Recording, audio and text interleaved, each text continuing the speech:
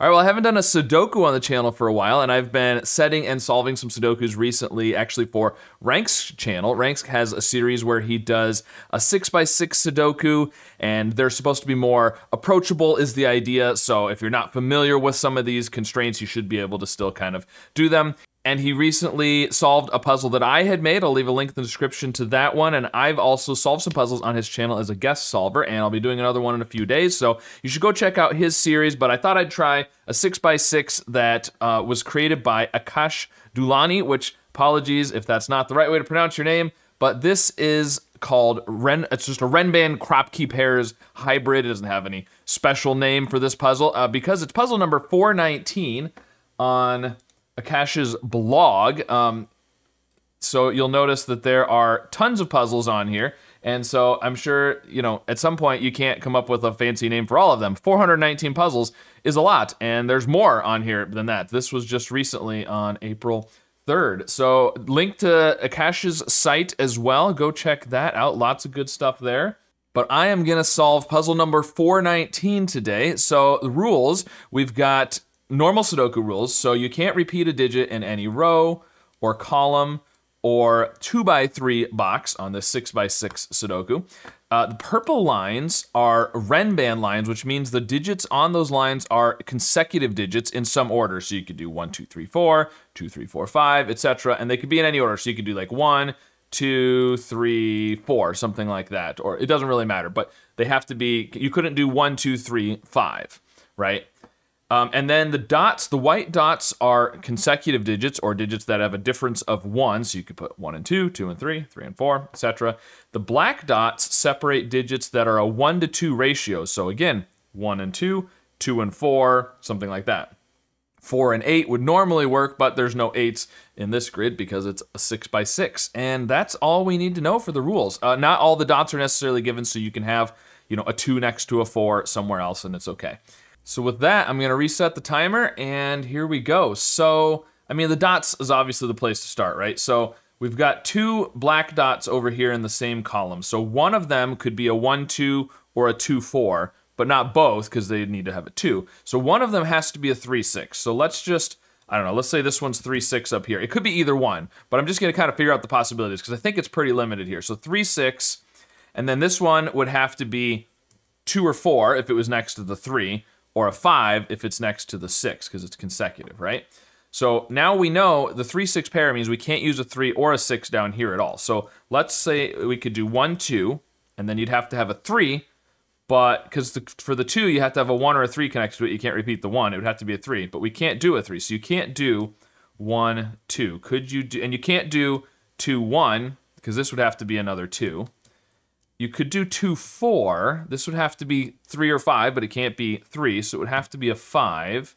You could do 4, 2, but it can't be a 3, it would have to be a 1. So these are the options.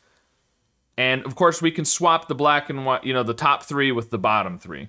But but the 2, 4 then rules that out, so that means that is 5. So it's going to be 3, uh, three, six, five is one of them, and then the other one is gonna be four, two, one. They've got to be those two options, or flip flops. So let's do four, three, two, six, five, one. So it's like this. Those are the options for those digits. Okay, now over here, ooh, the three, the three whites in a row helps a lot because, um, ooh, but does it have to be? It doesn't necessarily have to be one, two, three, or four, five, six, does it? Because it could also be like you know if this was one two it can't be this but let's say one two six down here you could do three four five in the middle right? But i think it's probably going to be one two three okay so let's think about if if you have a one or a six up here though then it has to be one two three or four five six right?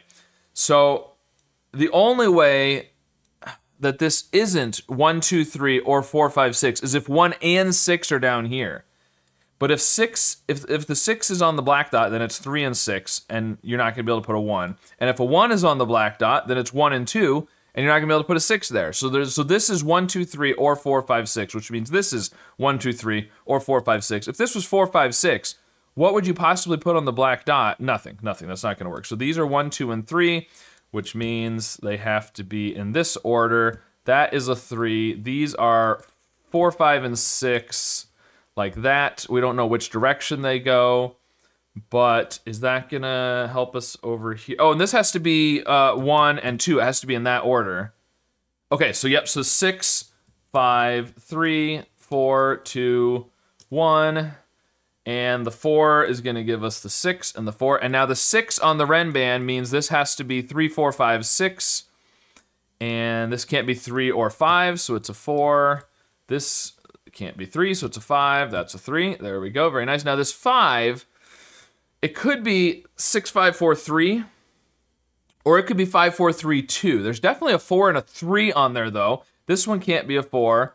This one can't be a four. This is a four. There's a three and the three there means that can't be a three. So this is a three. The other one is a two or a six. I don't think we know which one yet. I think it could be either one. Okay, so let's look down here where we've got three uh, three digits already in some of the rows. So this is going to be two, four, and six. This one can't be. Oh, these two can't be two. So this is the two over here. That four there tells us four and six. This is now a five. These are one and four and the four up above gives us the order. These are one, two, and six. That one can't be a six. This one can't be a one, and that one can't be a two. uh, oh, and this is, yeah, so the one has to be here, because neither one of those can be a one, so obviously. And these, uh, and that's the six then tells us two, six. Um, these are one and five, right? Yeah, one and five. That's a one and a five and a two.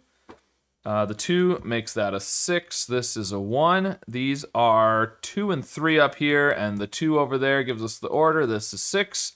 And then we've got 3 and 5 left, and there we go. Very nice. All right, well, these strings of dots are always much more limited than they might seem at first. And so very cool, and I like the idea of then forcing the 6 which forced the digits on the Renban. And this one had a couple of options, but not too many with the five there. So very neat. All right, well, thank you to Akash for making that puzzle. And go check out Akash's blog and all of the wonderful puzzles on there. And there's even some books you can buy full of puzzles. And I've done several of Akash's puzzles before, and they've always been great.